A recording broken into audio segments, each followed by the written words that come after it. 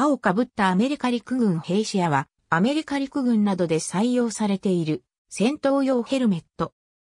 日本での販売元である MSA ジャパン社では高性能戦闘用ヘルメット、あと故障している。アメリカ陸軍以外にもアメリカ空軍が採用しているが、アメリカ海兵隊はではなく LWH を採用している。アメリカ軍以外にも各国の軍や法執行機関、民間軍事会社が採用しており、日本では海上保安庁も採用している。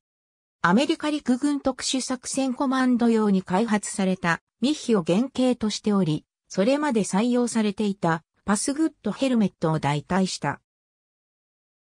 現在、あの後継となる小銃弾を阻止可能なエッジが開発されており、2011年末から更新が開始される予定になっている。2002年にはアメリカ陸軍の発明品ベスト10のうちの一つとして評価されている。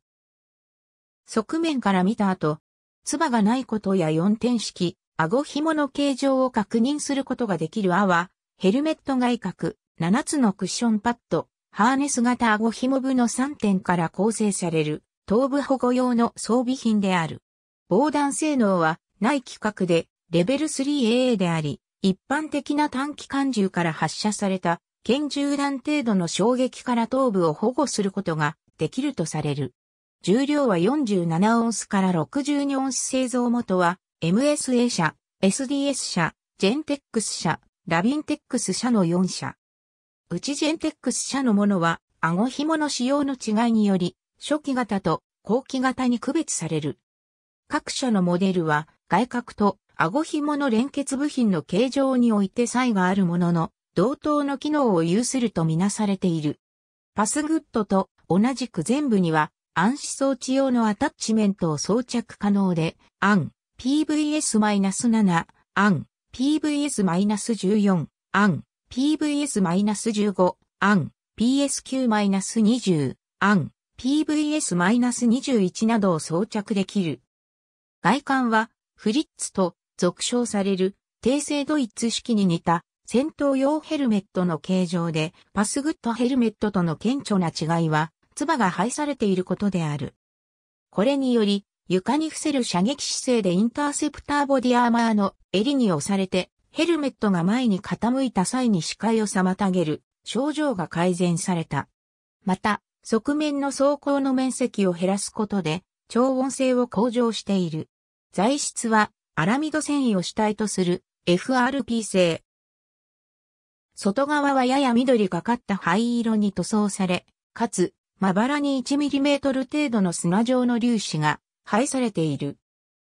内側は無塗装で白色の繊維と能力色の樹脂による綾模様が見え、内部にはクッションパッドを固定するための円形の面ファスナーが貼り付けられている。外角には、顎紐を固定するための4箇所の穴と、前頭部中央に暗視装置用の共通ブラケットを装着するための1箇所の穴が開けられている。共犯では、ブラケットを装着しない場合はこの穴を指定されたナットとボルトで塞ぐように指示されているが、指定のナットとボルトはあの構成品に含まれないため別途調達する必要がある。円形のパッド1枚、長方形、または長円形のパッド4枚、台形のパッド2枚の合計7枚から構成される。パスグッドヘルメットでは内装はハンモック式であったが、クッションパッド式に変更されたことで安定性が向上し、また、クッションパッドそのものにエアバッグのように衝撃を吸収する防御性能を期待できるほか、一部をパッドを着脱することで、装着時の疲労の軽減を図るための調整がより容易となった。クッションパッドは低反発性の発泡ポリウレタンを芯材として表面を吸湿性繊維、裏面を面ファスナーのループ面で包装したもので、厚さは6サイズと8サイズの2種類があるが現在は6サイズのみが供給されている。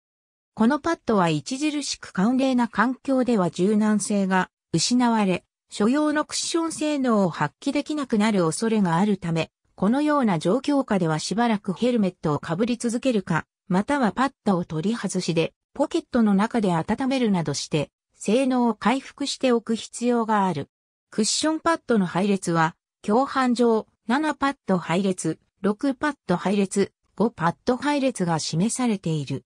頭頂部に円形パッド、前、後頭部に台形パッド、台形パッドの左右に長方形、または長円形パッドを配した形。7枚のパッドをすべて使用した配列。最も保護機能の高い配列であり、この配列が訓練、戦闘時の基本の配列とされている。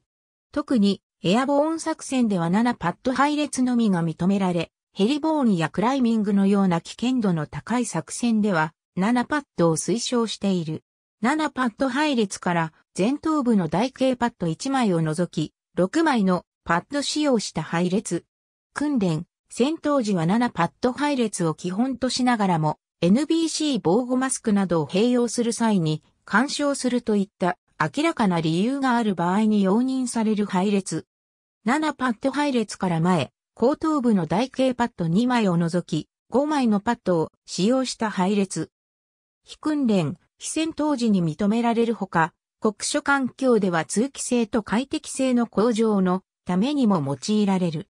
クッションパッドは、後傾のエッジと共通で互換性がある。顎紐部、連結部品、エリクビパッドの3点から構成され、材質は綿とポリエステルの混紡。顎紐部とエリクビパッドは使用に違いにより、MSA 社、SDS 社、ジェンテックス社、H 型、ラビンテックス社のモデルで共通して使用されるものと、ジェンテックス社、X 型の2種類がある。相違点は、前者のエリクビパッドは横に長い長方形でこの位置に面ファスナーがあることで、ハーネス全体の横方向の広がりを調節できるのに、対して後者のエリクビパッドは、蝶のような形状で下顎部のストラップに面ファスナーによる調節位置がある。連結部品は MSA 社初期、後期、現行、SDS 社、ジェンテックス社、X 型、H 型、ラビンテックス社の7種類がある。ジェンテックス社、X 型用以外、形状が異なるものの機能上は同等であるとみなされている。いずれも4箇所をナットとボルトで外角と連結する4点式のハーネス型で4箇所で長さを調節でき、1箇所で開き幅を調節できる。バックルは左側。